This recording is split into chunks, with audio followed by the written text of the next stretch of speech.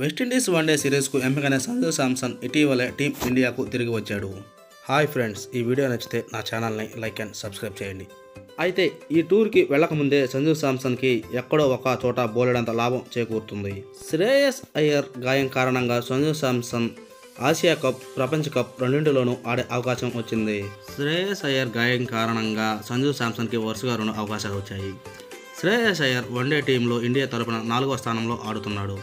ఇప్పుడు అతను ఆసియా కప్లో ఆడకపోతే అతని స్థానంలో సూర్యకుమార్ యాదవ్ నాలుగో స్థానంలో ఉండవచ్చు.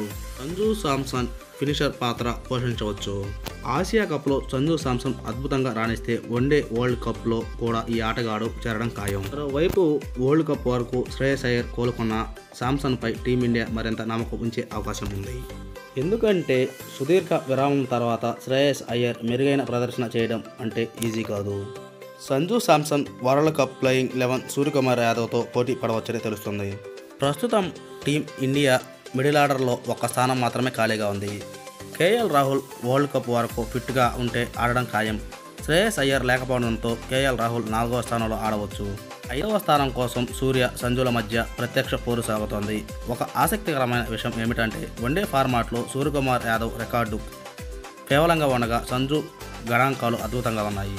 వెస్టిండీస్ పర్యటన నుంచే సంజు సామ్సన్ మెరుగైన ప్రదర్శన చేయాల్సి ఉంటుంది. మూడు వన్డేల సిరీస్లో శాంసన్ తన చట్టా చాటాలి. వన్డే ఫార్మాట్లో ఇప్పటివరకు సంజు సామ్సన్ ప్రదర్శన అద్భుతంగా ఉంది. ఈ ఆటగాడు అరవై ఆరు సగటుతో మూడు వందల ముప్పై రన్స్ చేశాడు. అతని స్ట్రైక్ రేట్ కూడా వన్ నాట్ ఫోర్ కంటే ఎక్కువ. సామ్సంగ్లో చాలా టాలెంట్ ఉందని స్పష్టంగా తెలుస్తుంది. మరిన్ని అప్డేట్ కోసం నా ఛానల్ని లైక్ అండ్ సబ్స్క్రైబ్ చేయండి.